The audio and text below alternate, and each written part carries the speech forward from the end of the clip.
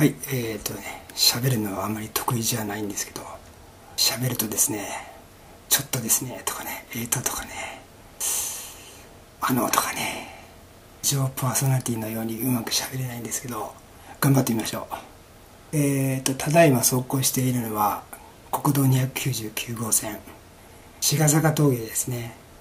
えー、くねくね始めたぐらいのとこですね。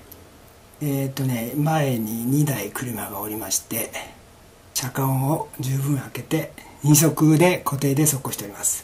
ここね最後のお家なんですけど昔ここ民宿やってたような気がするんですけどここ左コーナー。この入り口林道入り口これを林道をずっと行くと二子山の登山口だった気がしますね。二子山登ったことないんですけど。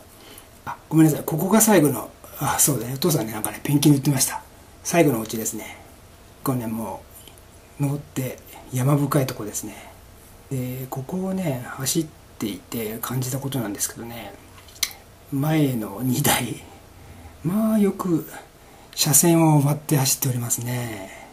十分ね普通車だったらあの車線内で、ね、このスピードであれば登っていれるんだろうけどね平気で割るよね、まあ、大きなお世だけどね。